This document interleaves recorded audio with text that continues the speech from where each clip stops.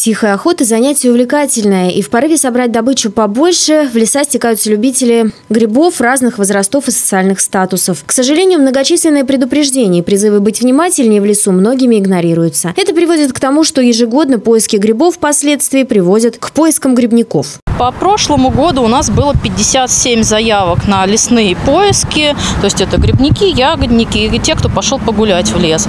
Из них 56 заявок мы закрыли со статусом «найден жив», а один человек, к сожалению, до сих пор не найден. Это наша боль. С начала этого года волонтеры Лизы Алерт приняли заявки на поиск уже 16 раз. 13 из потерявшихся найдены. Два поиска сейчас продолжаются без результатов. Надежда осталась лишь на свидетельства неравнодушных и отклики в социальных сетях. И прямо сегодня Сегодня пойдет вторая ночь с тех пор, как ищут пропавшего в Долгинина 59-летнего мужчину. Он тоже отправился за грибами и не вернулся. С пренебрежением относятся к правилам похода в лес из-за того, что идут в лес одни, из-за того, что, может быть, как-то очень сильно переоценивают свои возможности. Но иногда происходят какие-то несчастные случаи, травмы, повреждения. Взрослые люди вполне себе адекватные, вполне себе сильные, без каких-то особых хронических заболеваний. То есть э, те, кто переоценил свои возможности. Потому что леса меняются после пожаров, после ветродуев, меняется рельеф, ландшафт. Человек зашел вроде бы в знакомый лес, где-то повернулся, обернулся, э, хлоп, и уже он заблудился. При планировании любого похода в лес необходимо обсудить свой маршрут и время возвращения, обязательно пополнить баланс телефона и проверить заряд батареи, использовать яркую одежду. По пути следует запомнить как можно больше предметов ориентиров, а с собой обязательно взять предметы первой необходимости.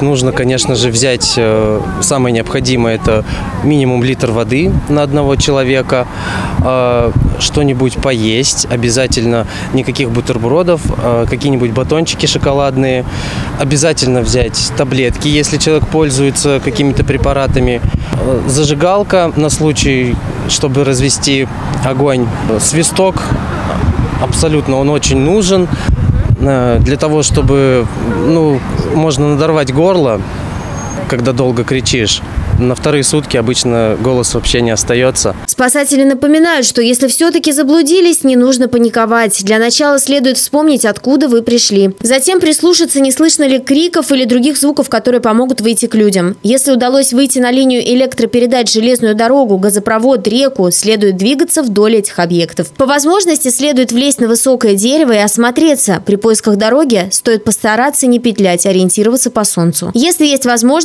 нужно позвонить в службу спасения и объяснить свое местонахождение. Единый номер вызова экстренных оперативных служб 112. Марина Комиссарова, Михаил Лазуткин, телекомпания «Город».